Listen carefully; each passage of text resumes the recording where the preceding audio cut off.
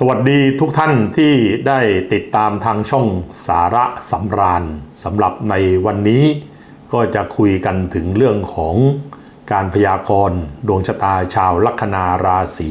กันในปีพุทธศักราช 2568 ซึ่งชาวลัคนาราศีกันในรอบปี 2568 ที่จะมาถึงนี้ ก็ถือว่าเป็นปีที่ชาวลัคนาราศีกันนั้น จะมีโอกาสที่ได้ประสบ พบเจอกับเรื่องราวดีๆ มากกว่าในปี 2567 ที่จะผ่านไป ก็เป็นเรื่องราวที่ส่งผลดีหรือผลที่เป็นคุณต่อชาวลัคนาราศีกัน ต่อเนื่องมาตั้งแต่ช่วงกลางกลางจนถึงปลายปี 2567 แต่ในปี 2568 นี้ ถึงแม้จะมีเรื่องราวในทางที่เป็นคุณต่อท่าน ไปตลอดปีก็ตาม แต่ก็จะมีเรื่องราวต่างๆ ในทางที่ไม่ดีแทรกอยู่ด้วยเช่นกัน ดังนั้นในการพยากรณ์ประจำปี 2568 ของชาวลัคนาราศีกันนี้ ก็จะขอเริ่มต้นจากเรื่องราวในด้านที่เรียกว่าเป็นคุณต่อตัวท่านก่อน ในช่วงระยะเวลาตลอดปี 2568 นี้ก็เป็นช่วงเวลาที่ชาวลัคนาราศีกัน จะมีความรู้สึกปลอดโปร่งโล่งใจ มีความสุขสมหวังในเรื่องราวดีๆ ที่จะมีเข้ามาอย่างต่อเนื่อง มีโอกาสดีในการที่ท่านจะประสบความสำเร็จในหลายๆ ด้าน ก็เราจะยกขึ้นมาคุยกันในเรื่องที่ดีก่อน ด้านแรกท่านจะมีโอกาสได้เลื่อนขั้นเลื่อนตำแหน่งได้รับเกียรติยศชื่อเสียง ถึงแม้ชาวลัคนาราศีกันบางท่านนะครับ อาจไม่ได้รับการโปรโมทเช่นที่กล่าวมา แต่ เรื่องราวดีๆ เหล่านี้ก็จะไปตกอยู่กับคู่ครอง คู่สมรสหรือบุคคลในครอบครัวของท่านแทน ซึ่งก็จะมีโอกาสได้รับหรือประสบความสำเร็จ ดังเช่น ชาวลัคนาราศีกันบางกลุ่มได้รับเลยเช่นกัน ประการที่สองนอกจากประสบความสำเร็จในเรื่องที่กล่าวมาในข้อแรกแล้ว ชาวลัคนาราศีกันยังประสบความสำเร็จควบคู่ไปกับการได้รับลาภผลต่างๆ ที่ตามมาด้วยเช่นกัน เรียกว่า เป็นการที่ท่านจะได้รับนะครับทั้งเงินทั้งกล่องเลยทีเดียว ประการที่ 3 ก็เป็นปีที่ชาวลัคนาราศีกันท่านจะมีสุขภาพพรานามัยที่แข็งแรงปราศจากโรคภัยไข้เจ็บต่างๆ มาเบียดเบียน บางท่านอาจมีอาการป่วยไข้ขึ้นมาเล็กน้อย ก็ถือว่าจะหายเองโดยไม่ต้องพึ่งแพทย์แต่อย่างใด เป็นช่วงเวลาที่ ชาวลัคนาราศีกันมีความเข้มแข็งทั้งสภาวะทางร่างกาย แล้วก็สภาวะทางจิตใจ ด้านที่ 4 ก็จากการประสบความสำเร็จในด้านต่างๆ ของชาวลัคนาราศีกัน ก็จะทำให้ท่านมีโอกาสได้นำเอาความสำเร็จ หรือชื่อเสียงเกียรติยศต่างๆ ที่ตัวท่านได้รับมาไปต่อยอดในการแสวงหาลาภผลให้กับตัวท่านเอง และก็ครอบครัวได้ พิ่มมากยิ่งขึ้นนะครับการที่ 5 ชาวลัคนาราศีกันก็ยังอยู่ในช่วงเวลาที่ท่านมีโอกาสที่จะได้เห็นได้รับข่าวดีที่ทำให้มีความสุขสมหวัง จากความสำเร็จของบุตรหลาน ลูกน้องหรือบริวารคนสนิทที่ใกล้ชิดท่าน ด้านสุดท้ายชาวลัคนาราศีกันที่สนใจ ศึกษาเรียนรู้วิชาที่เกี่ยวข้องกับศาสตร์ลึกลับ หรือวิชาทางด้านปรัชญา หรือบางท่านอาจจะสนใจศึกษา ไปจนถึงเรื่องราวของศาสนา ก็จะเป็นช่วงปีที่ดีที่ทำให้ท่านมีโอกาส ได้พบเจอบุคคลที่เป็นอาจารย์ที่ดี ซึ่งจะช่วยชี้แนะหรือแนะนำแนวทาง หรือชี้แนะเส้นทางในการศึกษาวิชาเหล่านั้นให้กับท่านทำให้ท่านเกิดความเข้าใจ แล้วก็มีความแตกฉานในเรื่องราวที่ท่าน สนใจศึกษามากยิ่งขึ้น ชาวลัคนาราศีกันตลอดปี 2568 นี้ท่านต้องพยายามใช้ความโดดเด่น ในเรื่องราวดีๆ ที่เข้ามาในคันรองชีวิตของท่าน และเป็นเรื่องที่ส่งผลไปในทางที่ดีหรือที่เป็นคุณต่อท่าน แล้วก็ผลนั้นก็จะส่งต่อไปถึงครอบครัวด้วย ท่านต้องใช้สิ่งที่เกิดขึ้นดี ๆ เหล่านี้ให้เกิดประโยชน์ สูงสุด โดยท่านต้องหาเวลาแล้วก็หาโอกาสในการที่จะนำเรื่องราวดี ๆ เหล่านี้ไปต่อยอด แสดงฝีมือของท่านให้คนรอบข้างได้ประจักษ์แล้วผลสำเร็จต่างๆ อีกหลากหลายรูปแบบก็จะเข้ามาสู่ตัวท่านเองอย่างแน่นอน แต่อย่างที่ผมกล่าวบ่อยๆ ว่าคันลองชีวิตของมนุษย์เราทุกๆ คนนั้น มันก็เปรียบเสมือนกับเหรียญสองด้านนะครับ นอกจากจะมีเรื่องราวดีๆ เข้ามาอย่างเช่นชาวลัคนาราศีกัน ท่านก็จะมีเรื่องราวในด้านที่ไม่ดี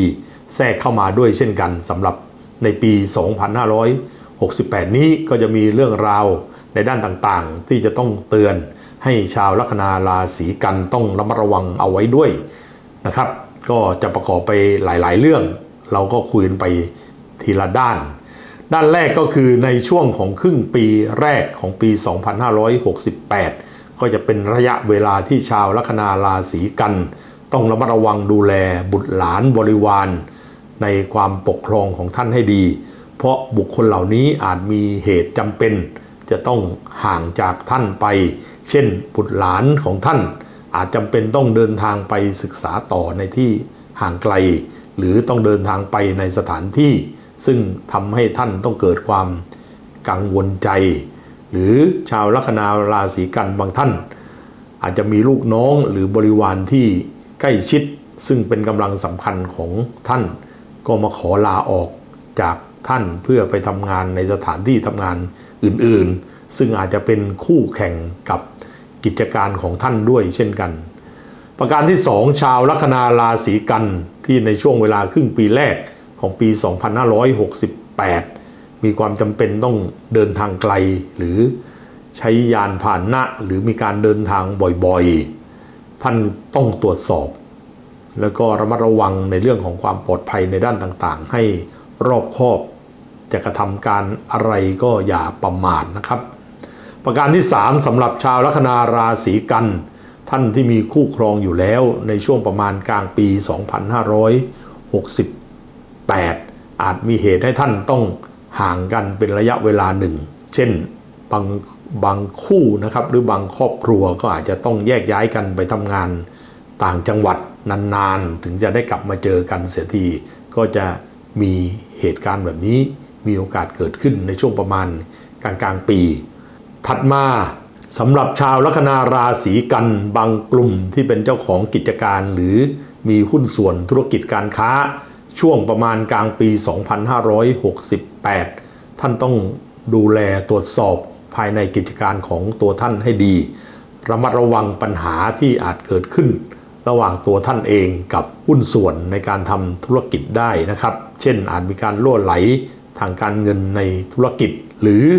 การขาดทุนในกิจการค่อนข้างมาก ชาวลัคนาราศีกันควรต้องรีบ เข้าไปดูแลเอาใจใส่แต่เนิ่นๆ ซึ่งจะช่วยผ่อนหนักให้เป็นเบาหรือช่วยป้องกันปรามไม่ให้เกิดปัญหาเหล่านั้นขึ้นมาได้ ประการสุดท้ายในปี 2568 นี้ก็เป็นปีที่ชาวลัคนาราศีกัน จะดำเนินการในเรื่องราวใด ๆ ท่านควรเตือนตัวเองเอาไว้เสมอว่าต้องยึดหลักของความถูกต้อง ยึดมั่นในความมีศีลธรรมจัญญาที่ดี ไม่แสวงหาผลประโยชน์ในทางที่ไม่ถูกต้องมิฉะนั้นผลของการกระทำที่ผิดทำนองคองธรรมของตัวท่านก็จะทำให้ลาบผลในทิศทางที่จะเป็นคุณต่อตัวท่านนั้นหมดไป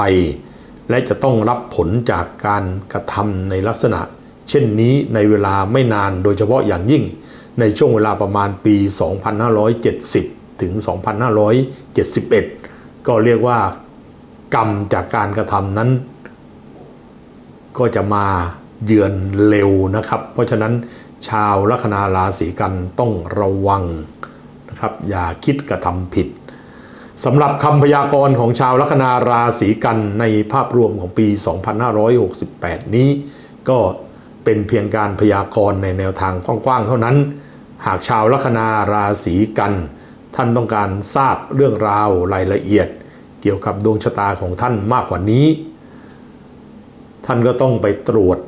ดวงชะตาของตัวท่านกับผลส่วนตัวของท่านเอง ซึ่งก็จะช่วยทำให้ท่านทราบจุดแข็งจุดอ่อนของตัวท่านเอง ซึ่ง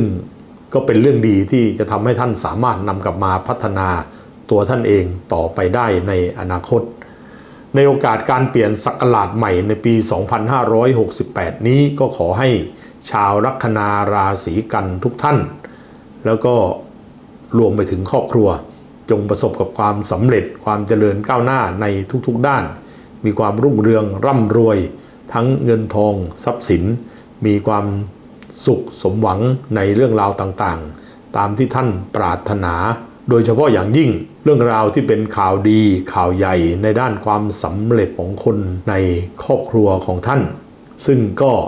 จะมีทั้งส่วนที่เป็นบุตรหลาน หรืออาจจะเป็นคนอื่นในปกครองของท่าน ซึ่งจะมีมาให้ท่านได้ชื่นชมยินดี มีความสุขใจไปตลอดทั้งปี ก็ถือว่าชาวลัคนาราศีกันก็เป็นกลุ่ม ชาวลัคนาราศีที่ปีหน้าก็ค่อนข้างจะ ดีสม่ำเสมอทั้งปีเหมือนกันนะครับ สวัสดีครับ